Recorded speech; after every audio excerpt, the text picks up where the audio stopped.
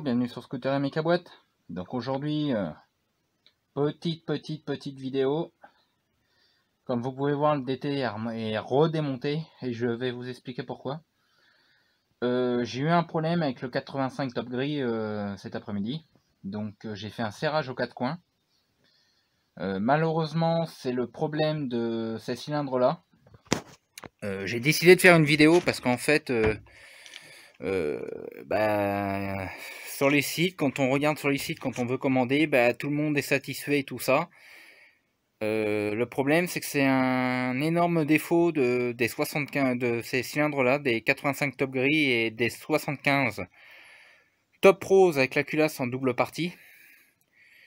Euh, donc le serrage aux quatre coins, qu'est-ce que c'est? Bah, Le serrage aux quatre coins, c'est tout simplement en fait le, piston qui est marqué aux quatre coins. Les quatre coins, c'est ce qui tombe en fait au niveau des goujons. Euh, il y a ce problème-là sur le 85, le 85 top gris. Il n'y a pas ce problème-là par contre sur le 86 top alu. Il y a ce problème-là sur le 75 top rose, le modèle qui a la culasse euh, démontable. Mais on n'a pas ce problème-là avec le 75 top rose à culasse monobloc. La, la même culasse que le 70 top noir. Euh, donc le moteur était en plein rodage. Hein. Donc j'ai fait 170 km depuis le montage du 85. Euh, je tiens à préciser que je ne tirais pas dedans, car euh, vu que le moteur est en rodage, donc je roulais qu'à 70 km h Donc vraiment pas j'ai vraiment pas tapé dedans. je allais régler assez riche de façon à faire le rodage dans de bonnes conditions. Mais cet après-midi, bah, quand je suis parti avec, euh, elle a bien roulé, je l'ai mis en route, j'ai respecté le temps de chauffe et tout ça. Je suis parti avec. Et qu'est-ce qui s'est passé? Bah, Elle a fait un, un pchit, pièce éteinte. Donc je l'ai poussé, euh, en fait ça m'est arrivé sur une nationale, donc avec des smearmorques et tout ça au cul. Donc euh, je l'ai poussé en courant jusqu'à une zone de sécurité quand même. Et quand j'ai voulu actionner le kick, et bah le kick c'était du beurre, j'aurais pu descendre le kick avec une allumette. Euh, je connais quelqu'un qui est garagiste, euh, qui m'avait mis en garde pour ce cylindre-là. j'ai pas voulu l'écouter, j'ai voulu en faire qu'à ma tête. ouais, c'est bon, tu dis qu'il sert, puis c'est pas possible. bon, il y a peut-être eu des problèmes sur certains, mais le problème a dû être résolu. Bah, il a été résolu de rien du tout, vu que ça m'est arrivé cet après-midi. Donc dans le coup, bah, il m'a ramené, euh, avec le camion de son travail, il m'a ramené la bécane chez moi. Euh, j'ai démonté tout à l'heure. Donc au départ, je pensais avoir euh, percé le piston, car j'avais monté la clavette d'allumage tout compte fait à l'envers. D'ailleurs, je remercie Top Performance, hein, qui sont pas foutus de mettre les notices de montage dans les, packs. Parce que le pack du 85, eu, je l'ai eu sans notice. Donc euh, c'est pratique hein, quand il faut prendre euh, le squish et tout ça, hein, quand on n'a pas de notice, c'est super. Et donc j'ai cherché un moment sur euh, internet et je trouvais pas. Par chance, il me restait ma notice de montage de mon 70 top noir, du tout premier 70 top noir, parce que le deuxième je l'ai eu sans la notice. Et dessus, il y a le site internet de Top Performance, que je vous mettrai peut-être dans la description si j'y pense.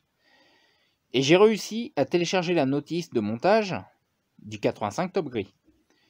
Et quand j'ai lu la notice, je me suis aperçu qu'au final, j'avais bien monté la clavette d'allumage à l'envers. Donc en fait, la clavette, je l'avais montée de façon à rajouter de l'avance. Mais en fait, il faut la monter dans l'autre sens. Il faut la, monter de façon à avoir moins d'avance.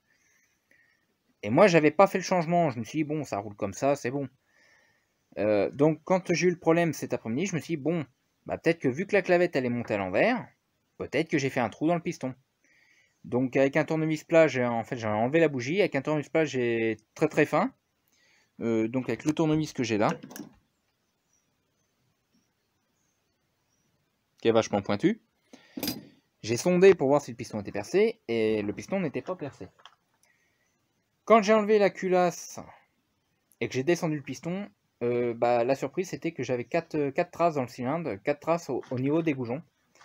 Quand j'ai défait le piston euh, et tout ça, bah, je me suis aperçu que j'avais fait un serrage aux quatre coins. Donc, par chance, le segment n'a pas été touché. Donc j'ai pu enlever le segment excusez-moi. Donc le segment n'a pas été touché, donc j'ai défait le segment du piston. J'ai passé euh, un coup de papier de verre sur le piston.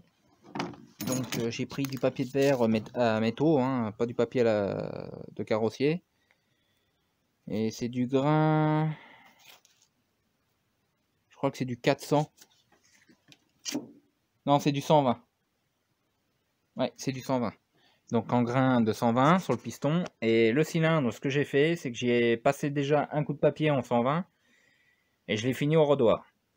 Euh, au niveau du segment, dans le coup, j'ai réussi à enlever le segment sans le casser. Le segment n'a aucune marque. Ce que j'ai fait, c'est que dans le coup, j'ai au niveau euh, où il y avait les traces, sur la gorge du segment, j'ai passé un coup de cutter dedans, euh, que j'ai gratté un peu. J'ai pris une lime, toute petite lime. Tantôt je l'aurai retrouvé.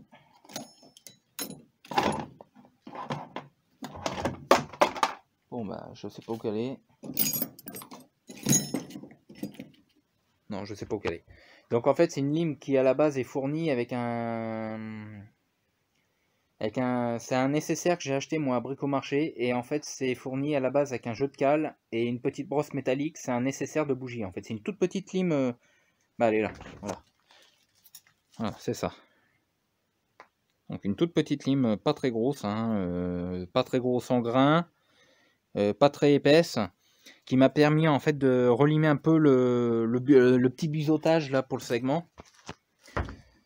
Euh, j'ai élargi un peu le cylindre, hein. donc euh, parce qu'en fait j'avais un jeu cylindre piston de, de, 0,8 dessus.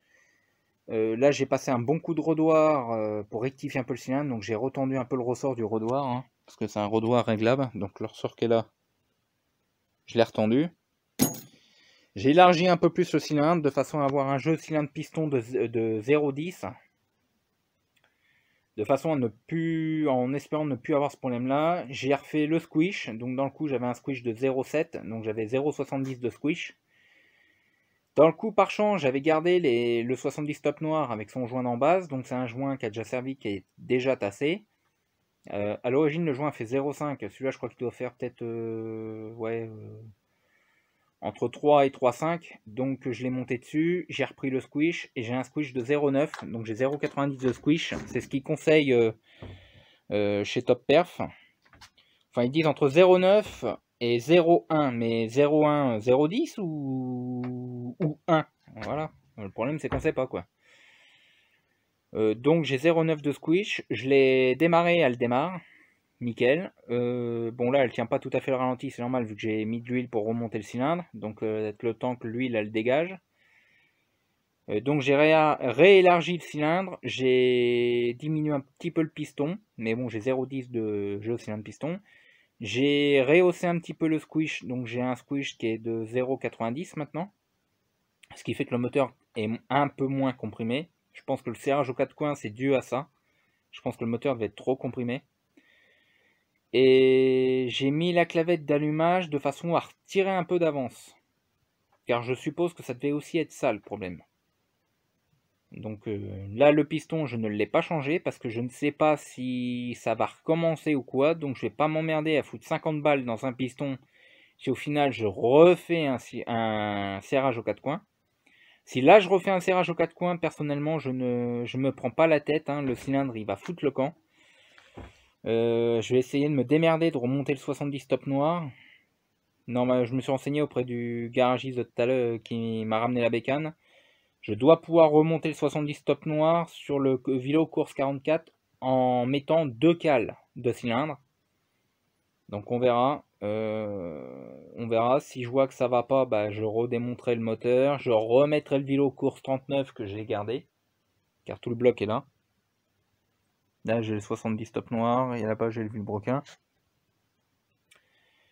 Euh, si vous, euh, vous savez de quoi que ça peut venir, le serrage aux quatre coins, n'hésitez pas à me le mettre dans les commentaires parce que c'est quand même bizarre. Euh, j'ai eu le 50 top noir, ça me l'a jamais fait. J'ai eu le 70 top noir, ça me l'a jamais fait. Et je peux vous dire que le 70, je m'en ai collé dans la gueule, à tel point de me faire, de me taper des wallings et tout ça. Celui-là, j'ai même pas tiré dedans que le moteur a serré. Enfin, j'ai fait un serrage aux quatre coins. Il n'a pas serré le moteur parce que le cylindre n'était pas si touché que ça et le segment n'avait rien. Et là, je vais pas vous la mettre en route hein, parce que je suis dans le sous-sol. Comme vous pouvez voir, je suis dans mon sous-sol, donc je vais pas vous la mettre en route là parce que les gaz ils vont monter en haut. Le seul truc que je peux vous montrer déjà,